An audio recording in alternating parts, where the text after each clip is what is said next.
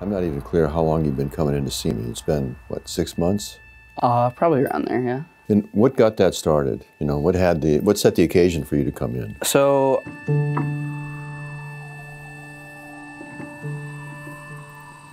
When you're in a medical environment, the way you get extra training is do a, to do a fellowship somewhere. I looked for an adolescent medicine fellowship and I couldn't find one. But there was a job open in a place called Boys Town, which I knew about. If the future of our country is to be secure from dangerous enemies from within, So, I mean, you can see this campus. You know, there's the church, there's the field house, there's the grounds. It's residential care. But the term residential care doesn't bring to mind this kind of env- environment, not in this country.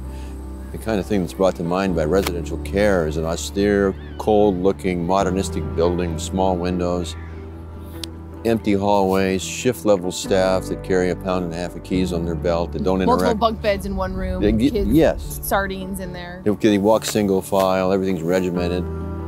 And there's institutional abuse, you know, there's a, a risk of being going over. Like, there are probably multiple incidents on a daily basis where there's some sort of like aggressive encounter between staff and youth. Mm-hmm. And, and here on this campus, you know, you raise your voice to a kid, that's the last day you're going to be on this campus. We're not going to have any, any kind of abuse on this campus. And when people think about residential care, what they've heard about residential care, and it's actually accurate with most programs, but this is obviously a different kind of a program. It's very unfortunate that the category called residential care is one that we're kind of sucked up into. We should Yeah. probably have a category all our own. Today, we want you to meet Father Flanagan himself. Good morning.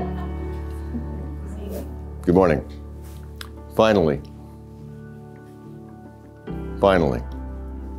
Finally, I get to give this talk. It was scheduled for October 22nd at 9 in the morning, and I was uh, very determined to give it. I was hell bent to give it. I did everything I could to get here. I got a little sick before. I was sick all night the night before. Nonetheless, I was very determined to get here, and I made it as far as the vestibule.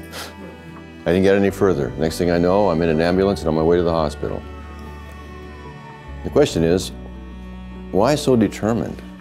I mean, I give talks all the time. I give them here, I give them all over the country, I give them all over the world.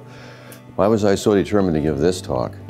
And the reason is, I've become uh, convinced uh, that the culture at large doesn't really care about the work that we do. you look in the mirror and you're like, who the is this guy? Like, what am I doing here? And why did this happen to me? Um, like, learning how to navigate those emotions that, like, you wake up and it's like, what are you gonna do? Where are you gonna go? And, like, fighting through that, like, it's a skill and a challenge that I think everyone goes through at least once in their life. And maybe it shouldn't have been so early for me, but It says in the Bible, there are angels among us. But it doesn't say what they look like. It just says what they do. I mean, obviously, your mother's death when you were nine years old really changed who your family was. It changed who you were. Um, do you think if she was still here that she would be proud of you, Neil? I know she would. You're a population of people that have decided to take care of people. I don't know why you decided to do that. I just know that you did. You're part of an organization whose mission isn't it isn't about you. It's about them.